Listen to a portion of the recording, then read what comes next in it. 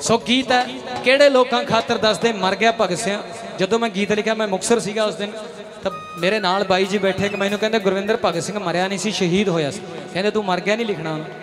ਮੈਂ ਕਿਹਾ, ਜੀ, ਮੈਂ ਨਹੀਂ ਕਹਿ ਰਿਹਾ, ਮੈਨੂੰ ਪਤਾ ਸ਼ਹੀਦ ਹੋਇਆ। ਇਹ ਉਸ ਬੰਦੇ ਦੇ ਦਿਲ ਦੀ ਆਵਾਜ਼ ਆ, ਜਿਹੜਾ ਬਹੁਤ ਔਖਾ ਹੈ, ਜਿਹੜਾ ਗਰੀਬ ਬੰਦਾ ਜਿਹੜੇ ਵਿਚਾਰੇ ਨੂੰ ਬੈਂਕ ਗਏ ਨੂੰ ਕੋਈ ਵਾਊਚਰ ਨਹੀਂ ਭਰ ਕੇ ਦਿੰਦਾ, ਤੇ ਬਜ਼ੁਰਗ ਝਾਕੀ ਜਾਂਦਾ, ਕਿਰਾਇਆ ਫੜ ਕੇ ਲਗਾਇਆ ਹੁੰਦਾ ਕੋਈ ਪੈਨਸ਼ਨ ਬਣਾਉਣ ਗਿਆ ਹੁੰਦਾ, ਕੋਈ ਕੁਝ ਕਰਨ, ਜਦੋਂ ਬਾਹਰ ਨਿਕਲ ਕੇ ਵੇਂਦਾ ਵੀ ਮੇਰੀ ਤਾਂ ਗੱਲ ਹੀ ਨਹੀਂ ਸੁਣੀ ਕਿਸੇ ਨੇ ਯਾਰ।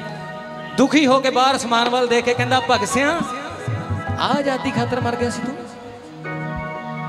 ਜਿੱਥੇ ਬੁੱਢੇ ਠਹਿਰੇ ਲਤਾਂ ਘੜੀਸਦੇ ਤੁਰੇ ਫਿਰਦੇ। ਤੂੰ ਜਿਉਂਦਾ ਰਹਿੰਦਾ ਸ਼ੇਰਾ ਆ ਕਰ ਗਿਆ ਭਗਤ ਸਿਆਂ। ਕਿਹੜੇ ਲੋਕਾਂ ਖਾਤਰ ਦੱਸਦੇ, ਮਰ ਗਿਆ ਭਗਤ ਸਿਆਂ। ਕਿਹੜੇ ਲੋਕਾਂ ਖਾਤਰ ਦੱਸਦੇ, ਮਰ ਗਿਆ ਭਗਤ ਸਿਆਂ।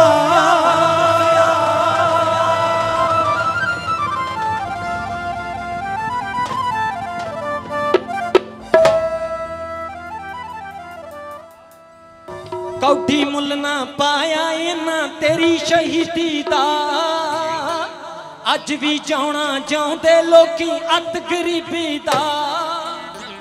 ਕੋਈ ਕੇਮਾਂ ਚੋਂ, ਕੋਈ ਚਾਰੇ ਵਿੱਚੋਂ ਚਰ ਗਿਆ ਭਗਤ ਸਿਆ। ਕਿਹੜੇ ਲੋਕਾਂ ਖਾਤਰ ਦੱਸਦੇ ਮਰ ਗਿਆ ਭਗਤ